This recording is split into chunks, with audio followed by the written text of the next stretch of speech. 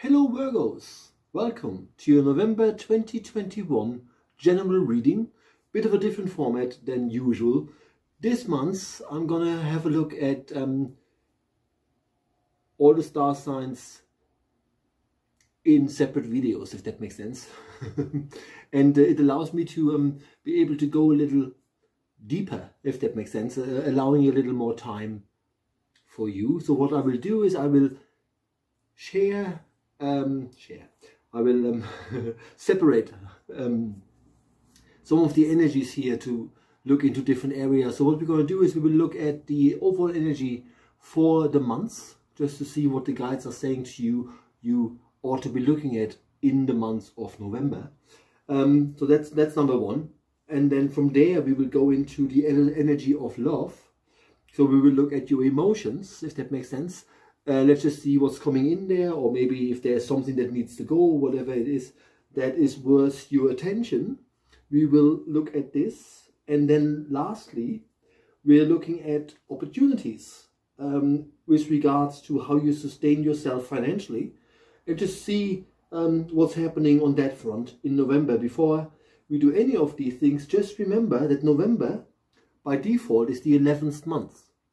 And 11 is a master number. Actually, all the master numbers there is, 11 is the strongest. Ultimately, that allows the energies that are coming in to be amplified um, when they reach you. So it's quite quite a powerful thing uh, to have. So let's have a look what's going on um, generally for Virgos in November of 2021. Now, it starts off great or maybe scary, depending on where you're sitting and uh, in, in your life and how your brain is sort of wired. Because you have the Dancer of Beginnings, the Spirit of Healing, and the Shaman of Courage. Now, whew, Virgos, the dancer of beginning. Dancing in many ways feels pussyfooting. You know, I'm moving, but not quite, kind of stuff. Which means if you feel that things have come to an end or you want to start fresh, you have to say, and I'm going to take the bull by the horns and actually do something about that. Which is, so it is up to you in many ways to really be proactive with bringing about change. There's nobody here that can do that for you, right?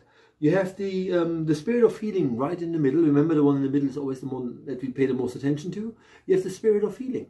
So, because you have the sense of beginning, which means there is supposed to be a new start somewhere, um, and you have the spirit of healing as your main energy for this part of the reading, really, it denotes to realize maybe it is time for something to go for me or for you in that case um, to manifest the new and then allow whatever sits there whatever that older situation has caused for this to heal. So you're going through healing in november um, but and you have the shaman of courage as the outgoing energy. So what they're saying is while you may even have some sort of a healing crisis in November coming to you, Virgos, the Shaman of Courage tells you that you will get through it, but you need a bit of determination to get through it. Don't stop halfway through, right? So, um, not the easiest of energies, but um, there is nothing worse than being frustrated and therefore halted in your tracks and on your journey because you can stay frustrated forever. And all the guides are saying is, isn't it time for you to heal a little from whatever it is that, that, that created the, the feeling of frustration and start manifesting better deals, if that makes sense, right? Speaking of better deals, let's have a look at your at, at love and and your emotions. It might not be love, um, Oh, as apparently it is. you have the Shaman of Stars, you have the Companion in the middle, and you have the Hunter of Conflict. so, with regards to love, what the guides are saying to you is, Virgos, if you settle for mediocre mediocrity, um, that's what you're getting, right? Don't don't allow yourself to feel so so hmm, uninspired, to feel so unaccomplished, um, that you manifest someone who brings out the feelings of, of, of feeling not, of having no self-worth. It's important to look at your relationship, relationships right now, and look who is bringing out the feeling of, of feeling horrible, of thinking I'm worth nothing when I'm, uh, when I'm with these people or with that person. Right? So it's important to reflect a little on, on who causes you this because you have the companion in the middle, which means your relationship is working or is supposed to work because the energy of the companion is right in the middle, which means it's a perfect time to um, to manifest a new partner. But you just have to, excuse me, also work on your self-esteem. You have to work on what is it that holds me back. Um, maybe you are a very suspicious person. Maybe you don't really trust and maybe you have every reason not to. But does that make sense to be in, in a relationship where you can't trust? You know, because you have the outgoing energy of the hunter of conflict. And that means that things have to change. There are things that, that need to be ironed out.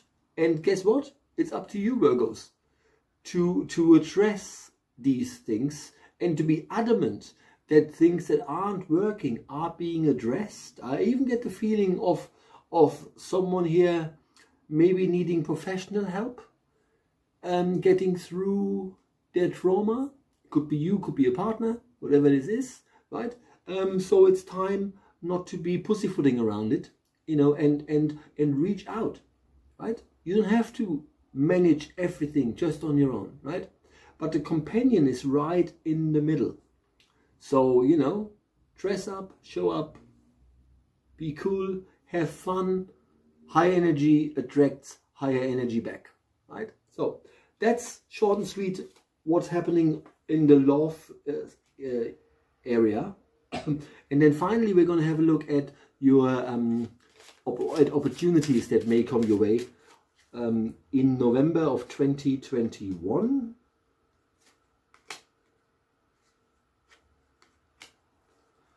quite powerful energy here for um, for opportunities because you have two very very strong big cats you have the panther and the lion in your corner when it comes to being sustained um, financially and um, being rewarded for the things you do work-wise. and your, your, your animal in the middle is the kingfisher. And the kingfisher and the hummingbird are the birds that no matter how crooked the tree is, they can work it. So ultimately what the guides are saying to you in November, you're going to be just fine. Energetically speaking, everything here shows that if there has to be a breakthrough, break, breakthrough you will you will make that happen. And here's how and why and where there are issues. You have the panther as the incoming energy. Well, the panther by default is a leopard of sorts.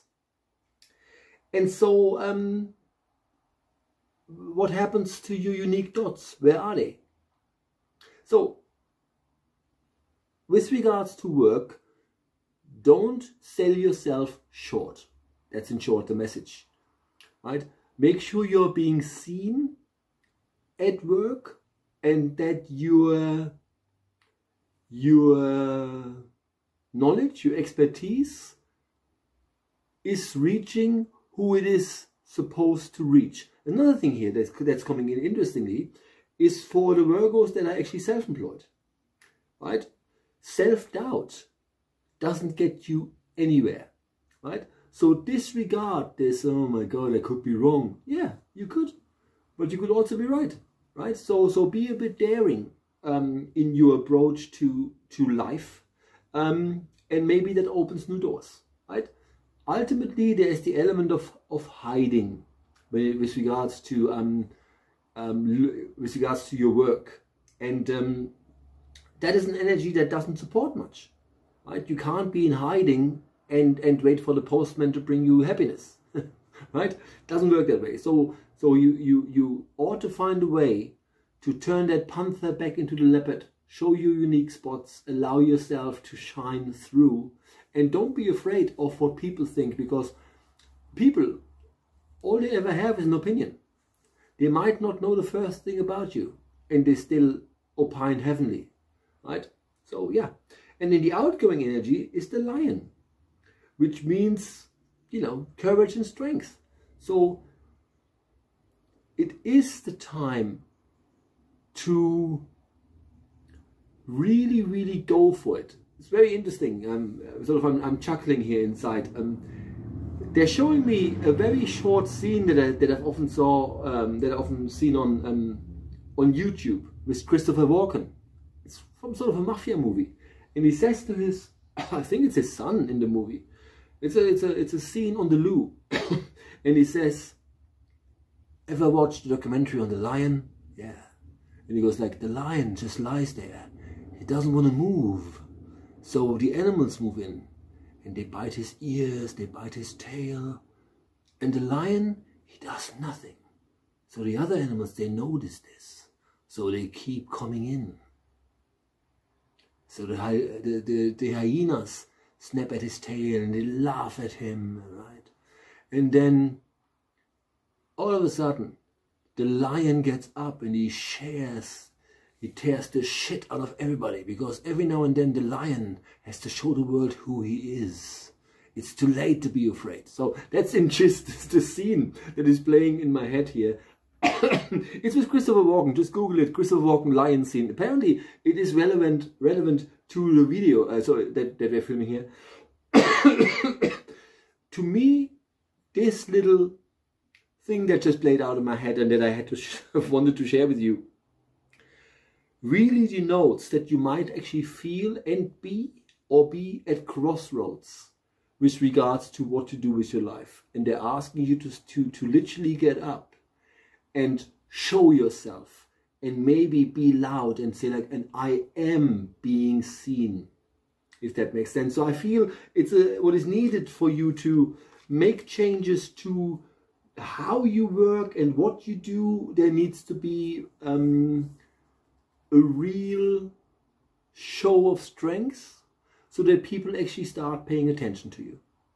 Okie doke, Virgo, that was that. See you very soon. Bye bye.